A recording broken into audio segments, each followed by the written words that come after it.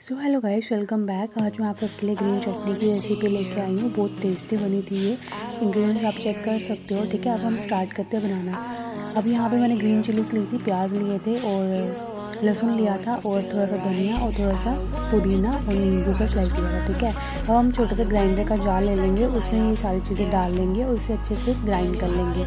मैंने यहाँ पे भी मसाले ऐड नहीं किए हैं, मैंने बस इसमें पानी डाल के थोड़ा सा इसे ऐसे ही ग्राइंड किया था, एक दो मिनट के लिए, ठीक है? अभी अच्छे से इसकी पेस्ट बन गई है। अब यहाँ पे अब यहाँ पे मैंने आधी छोटी चम्मच नमक की डाली थी, आधी से छोटी चम्मच मैंने काला नमक और आधी छोटी चम्मच चाट मसाले की डाली थी, ठीक है? क्वांटिटी आप अपने हिसाब से कर सकते हो। यहाँ पे मैंने दही भी ऐड किया था, आप चाहो तो ऐड करना, वरना आप मत करना, लेकिन इस चटनी में दही भी ऐड करते हैं। तीन से चार चम्मच मैंने दही ऐड किया था, और उसे मैं, और अब मैंने एक नींबू का पूरा रस इसमें डाला था, और इसे अच्छे से मिक्स कर लिया था।